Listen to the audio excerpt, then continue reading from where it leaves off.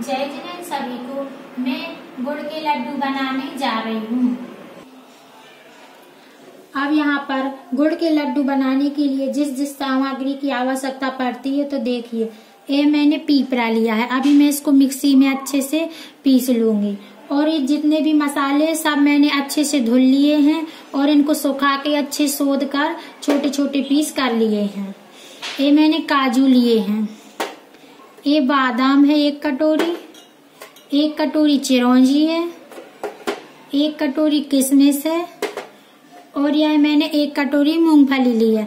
यहाँ पर मखाना नहीं डालना है क्योंकि मखाना अवक्ष है तो मैंने यहाँ पर थोड़ी सी मूंगफली ले ली है। और एक कटोरी है खारक है और एक कटोरी घी ले लिया है। ये मेरा सोला वाला गुड़ है।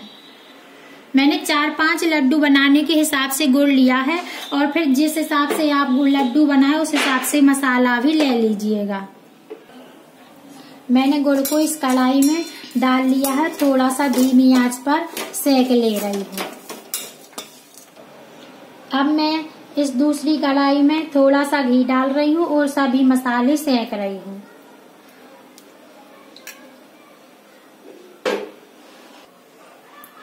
अब मैं इन चिरौंजी को सेक रही हूँ।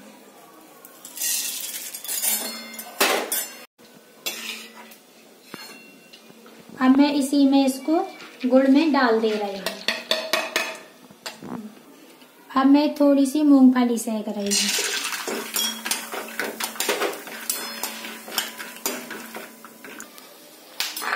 अब मैंने इन मूंगफली को निकाल लिया, ये भी सूख चुकी है।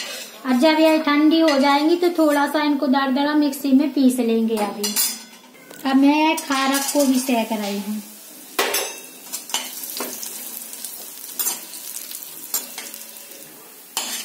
मेरी खारक भी सीख चुकी है और मैं इनको निकाल ले रही हूँ।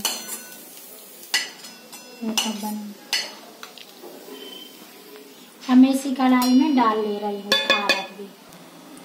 अब इन काजू को भी सेक ले रही हूँ।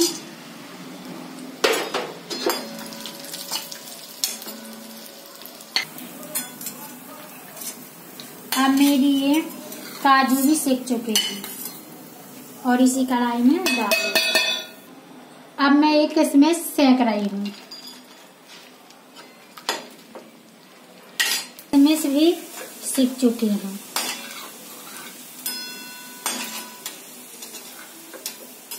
अब मैं इस किशमिश को भी इसी गुड़ में मिला ले रही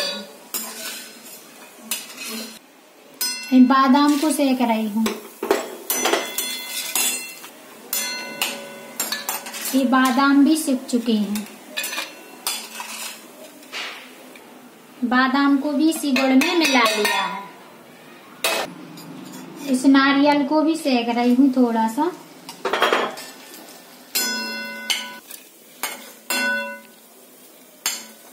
ये मेरा नारियल भी सीख चुका है और इसी में मिला लिया है अब मैं इसमें थोड़ा सा पीपरा मिला ले रही हूँ। ये मैंने पीस लिया था अच्छा चाल लिया है। और ऐसा अच्छा मिक्स कर ले रही हूँ। इसमें थोड़ा सा घी भी डाल ले रही हूँ। इस प्रकार मेरे यह लड्डू तैयार हैं और यदि लड्डू नहीं बांधना है तो यह मसाला भी रख सकते हैं और खा सकते हैं। जय जिनेन्द्र